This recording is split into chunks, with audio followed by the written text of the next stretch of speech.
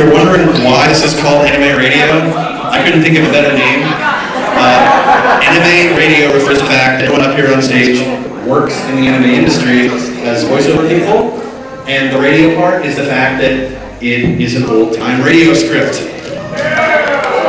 Now, a lot of people are too young to know that before the interwebs there was, you know, obviously TV and film and all that, but people would gather around their radios back in the old days and listen to live performance. You guys have heard about some popular shows or popular broadcasts like War of the Worlds with Orson Welles on Halloween in 1938. They performed it live. A lot of people tuned in late and missed the disclaimer that it was not real. And so people really panicked and thought the earth was being invaded. And people were like killing themselves and beating each other up and rioting because they thought that aliens were landing. But that's 1938. Speaking of 1938, this script is actually, I think, from 1938. Uh, it's from The uh, Shadow, which is my personal favorite old-time radio show. What can I tell you about The Shadow? Uh, he's a crime-fighting vigilante with psychic powers, a master of hypnotism who can alter and control a person's thoughts and perceptions. He can make himself nearly invisible to the naked eye. Nearly.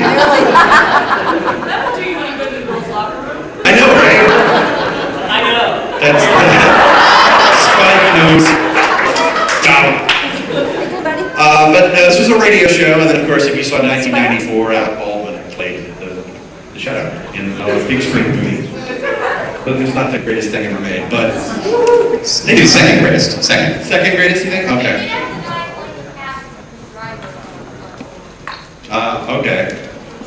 The one guy everybody knows right now. Okay. Uh, the radio show aired from 1937 to 1954. Okay. So the story, he's kind of like Batman. So during the day, Lamont Cranston, he's this wealthy socialite dude, like going around solving mysteries, basically, with his female companion friend. That I don't think there's any romance there. Maybe it's like a X Files type relationship, I guess, that goes unconsummated or something. Um, Margot Lane. Margot Lane, which always cracked me up because it's like, is that like Lois Lane? Did they really have to? I don't know. Uh, yeah, so, uh, yeah, this particular one happened in 1938. It's called The Blind Beggar Dies. I guess you know what happens to the blind beggar in this story. Spoiler. Know. But let's, let's, before we cast the roles in the show, which these guys have not seen this script before, this is all fresh. I'm not performing per se. I'm going to be here at the side on the lap playing sound effects, music, stingers, and um, to enhance the performance. Now, everyone here upstage uh, will have the freedom to improvise if they want, and they can. Uh, I know. Oh, we're letting do what we want. We're not used to that. Because normally we're up there matching lip flaps and watching anime. It's like we can't have that freedom, but here, yeah, it's crazy. So let's introduce our panelist.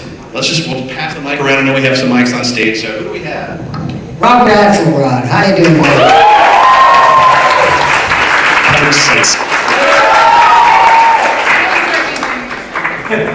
Uh, Mile Yamamoto, not Miley, Mile. KG, say. Marianne Miller.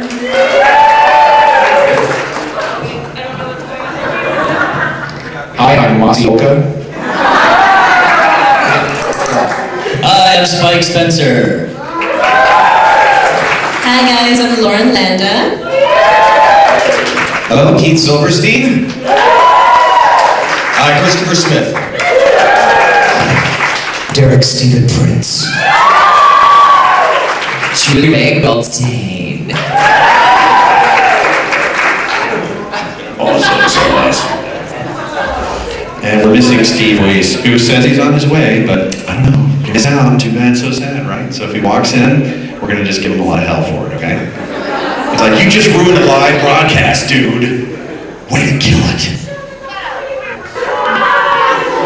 I have the sound, the Price is Right little Winner Loser sound. I can do that. I know we're going to fun. Okay, so...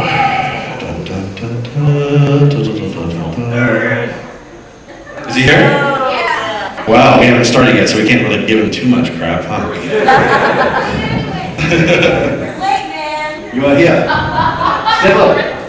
Or something like that. And there is our. There- There's Stephen Weese, ladies and gentlemen, the last member of our cast today. And uh, Ben Kenobi. And Ben Kenobi. Ben Kenobi. Kenobi, Ben. Oh, Shawn Crosby. Hello, Shawn Crosby.